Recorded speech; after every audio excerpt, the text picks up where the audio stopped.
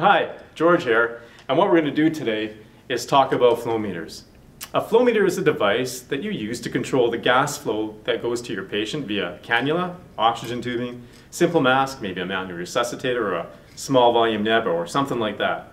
So it's used to control the gas flow that the patient gets or the appliance gets. The one we're going to look at today is called the Thorpe Tube Back Pressure Compensated Flow Meter. We just simply refer to these things as flow meters. There's two other varieties that are out there too. They're called Bourdon gauge style flow meters or flow restrictor style flow meters. Now when you're using a flow meter, the first thing you want to do is make sure that if you're using oxygen, for example, you take your oxygen flow meter and attach it securely and properly to your oxygen station outlet. Color coding helps, helps with this. So oxygen here is color coded white. So we line it up with the white station outlet and the appropriate safety system and connect it together. Medical air here is color coded black and white. And so if you want to use medical air for whatever reason or medical tubing, you connect it to your DSS connection. Uh, make sure what you're using is black and white and has the appropriate safety system on it as well.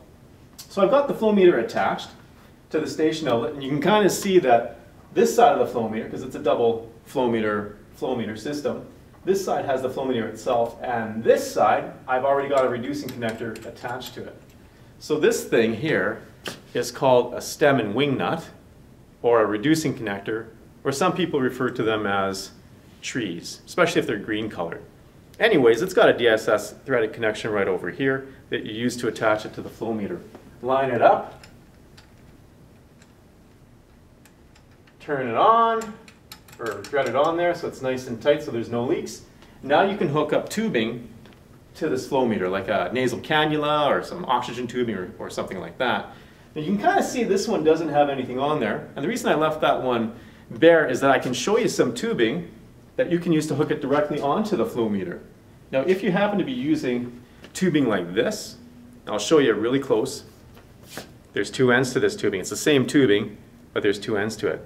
There's the appliance end, there's the flow meter end, and you can kind of see they're slightly different, right? They're meant to attach to each other if you want to lengthen the length of tubing that you're using. But this end here specifically is meant to go onto your flow meter.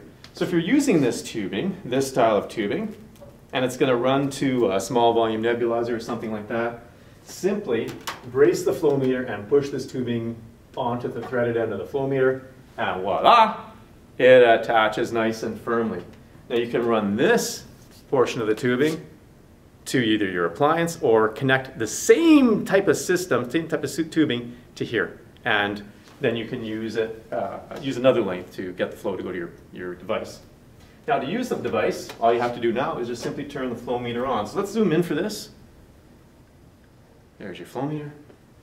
Grab the knob, turn counterclockwise, and you'll see that ball comes up. Now all you have to do is adjust that ball to whatever value you want.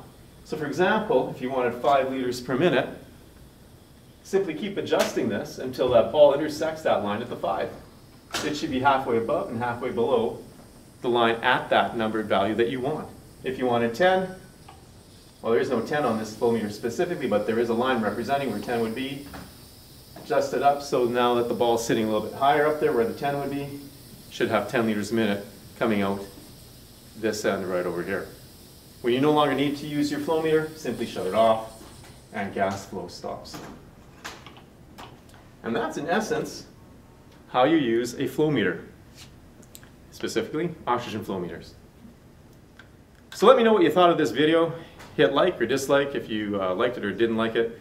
Also subscribe to my channel and if you have any questions or suggestions for future videos, please let me know. This is George out. Have yourself a great day.